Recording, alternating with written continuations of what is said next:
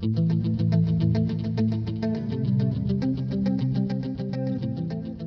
welcome to Oakville Dental Offices. I'm Dr. Ray Liu, part of the dental team with two locations here in Oakville.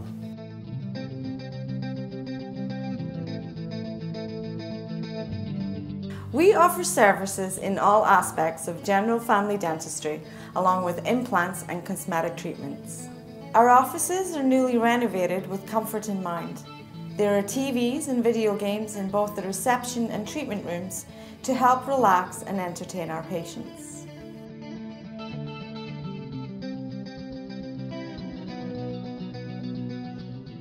Our goal is to use the latest technology to get the best result with maximum patient comfort. What gives me and my team the greatest satisfaction are the happy smiles on the faces of our patients with beautiful, healthy teeth. Let our family care for your family here at Oakville Dental Offices.